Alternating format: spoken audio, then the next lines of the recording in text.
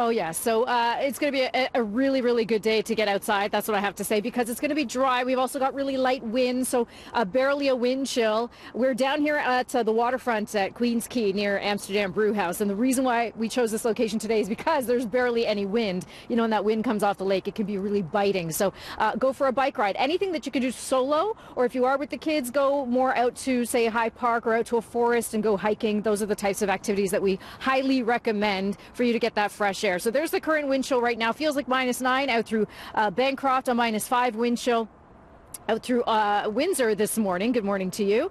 And we take a look at the indoor outdoor planner. So lots of leaves. Wherever I put the leaf, that's going to be sort of your ideal time to get outside with the kids or with yourself where it's not raining. We do have a chance for rain early tomorrow morning. Uh, but right now we've got these clear skies. Really nice uh, view of the moon over the next couple of hours here if you can get out and look to the south southeast. But there's that rain that's coming our way. Now the good news is it's just going to skim us uh, later tonight uh, after 8 9 p.m. and then at 11:49 p.m p.m. is the spring equinox. Have a glass of wine with that one. It starts at 11:49 p.m. spring. So tomorrow will be our first full day of spring, and uh, it's going to feel like it too tomorrow because we have a thunderstorm risk tomorrow night. But as far as today goes, four degrees, so we're bang on seasonal. Light winds, increasing cloud, staying dry all day long. We'll send it over to Mel for news.